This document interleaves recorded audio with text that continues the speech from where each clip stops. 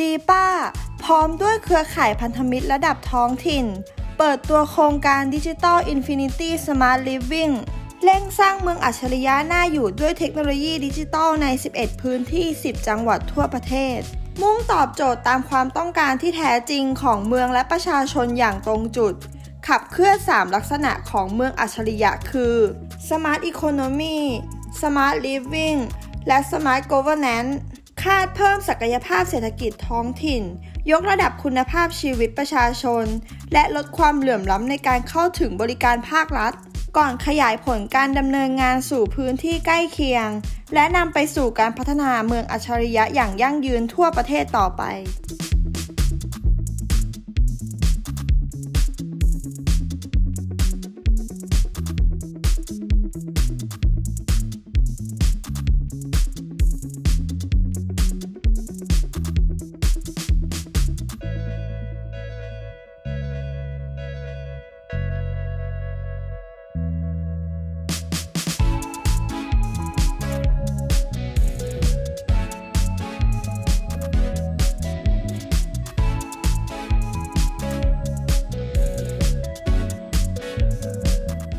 Digital Infinity Smart Living เนี่ยนะครับจริงๆ มันเป็นหนึ่งในโครงการของ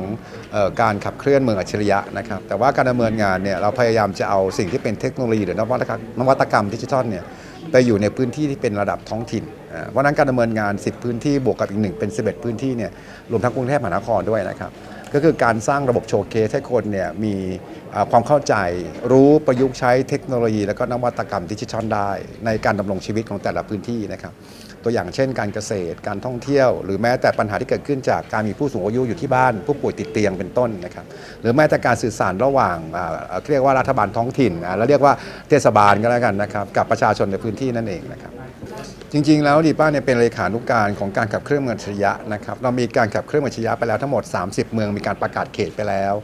ในระดับของทั้งที่เป็นจังหวัดเอง ระดับของทั้งที่เป็นตัวเทศบาลเองนะครับแล้วก็มีไปในการที่จะประกาศเพิ่มเติมเรียกว่าเขตส่งเสริมอีกประมาณสัก 100 กว่าพื้นที่นะครับเรามีน้องๆยังเอ็มบาสเดอร์ลงไปทำงานด้วย เห็นว่าใน 10 พื้นที่ที่มาเนี่ยคือพื้นที่ที่เขายกมือ บอกผมอยากจะเป็นเขตส่งเสริม ยังไม่ได้เคยได้รับการพิจารณาเลย ยังไม่เข้าใจเลยว่าเมืองอัจฉริยะนั่นคืออะไร ประชาชนจะได้ประโยชน์อะไร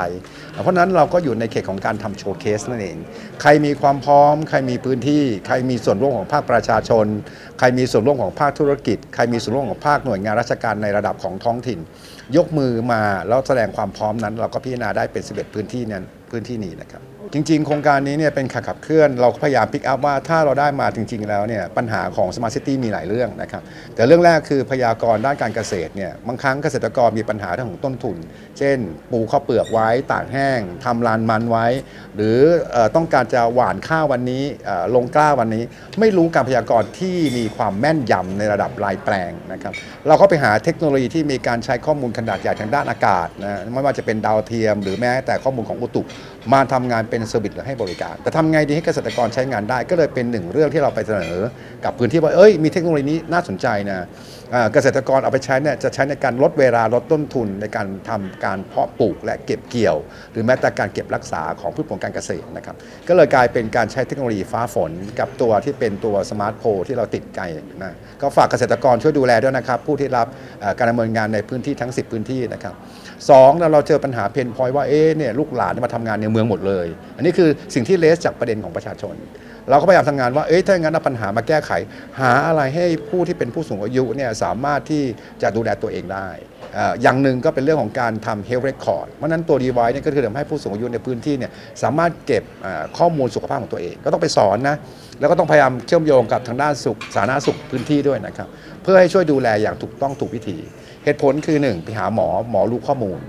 บางครั้งข้อมูลดี หัวใจเต้นดีความดันดี ก็ไม่จะเป็นต้องไปหาหมอ ก็ประหยัดค่าใช้จ่ายในการเดินทาง สิ่งเหล่านี้เคยทำสำเร็จไปแล้วไม่ว่าจะเป็นที่ขอนแก่นนะครับจะเป็นที่ปราจีนบุรี แต่ที่พื้นที่อื่นๆเนี่ยเขาอยากจะทำเพิ่มเติมด้วยเราอยากลองบ้างก็ทำ showcase ให้เห็นนะครับอีกหนึ่งเรื่องเนี่ยจะเป็นเรื่องของการส่งเสริมว่าเอ๊ะทำมาหากินเป็นเรื่องสำคัญ วันนี้โดน GP หรือต้นทุนการบริการจากการขนส่งนะครับ20-30%เราใช้แพลตฟอร์มต่างชาติไม่ผิดนะครับแต่ก็ต้องเปิดโอกาสให้แพลตฟอร์มของคนไทยเนี่ยไปแข่งขันได้ด้วย